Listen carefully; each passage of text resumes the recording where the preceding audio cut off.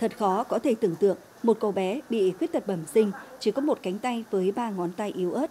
Bàn tay ấy khiến em gặp rất nhiều khó khăn trong cuộc sống. Nhưng em Nguyễn Văn Tài, xã Hồng Vân, huyện Ân Thi với mong muốn được đến trường và khát vọng chinh phục tri thức. Ngay từ nhỏ, em Tài cẩn mẫn, chăm chỉ luyện viết bằng chân.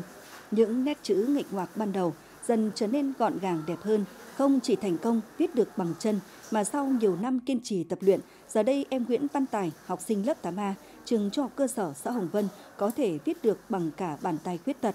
Dẫu thiệt thòi và kém may mắn hơn bạn bè cùng trang lứa, nhưng em Tài không vì thế mà tự ti, nản lòng. Em vẫn luôn lạc quan, chăm chỉ, cố gắng nỗ lực hết mình để vượt qua khó khăn và giành nhiều thành tích xuất sắc trong học tập.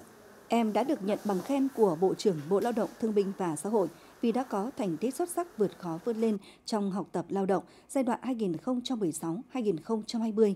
Nguyễn Văn Tài sẽ truyền cảm hứng động lực để những người yếu thế hòa nhập cộng đồng, phấn đấu trở thành công dân có ích cho gia đình và xã hội.